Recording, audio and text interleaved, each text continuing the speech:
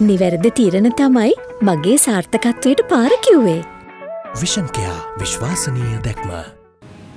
විශේෂයෙන්ම නාගරික ප්‍රදේශවල දැන් උදාහරණයක් වශයෙන් වැලිකඩ බන්ධනාගාරය ගත්තොත් එහෙම අනිත් පැත්තේ තියෙන වනාත මුල්ල. වනාත මුල්ලේ අනිත් පැත්තේ ඉඳන් බෝලයක එල්ලලා උඩින් දානවා කුඩු. ඉතින් මේ තියෙන ප්‍රදේශය බන්ධනාගාරයක සුදුසු ප්‍රදේශයක් නෙවෙයි. ඒ නිසා මේ බන්ධනාගාර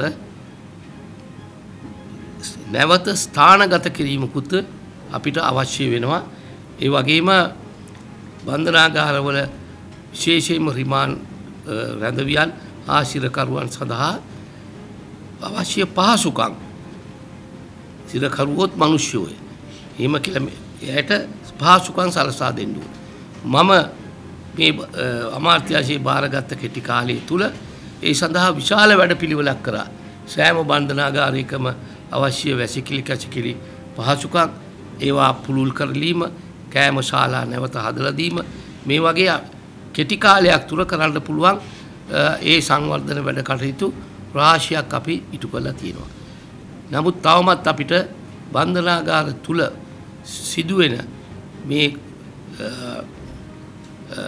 දුරකතන භාවිතය වැනි දේවල් CCTV කැමරා හයි කිරීම වැනි දේවල් ටික අපිට කරගන්නට බැරි වෙලා තියෙනවා. .lk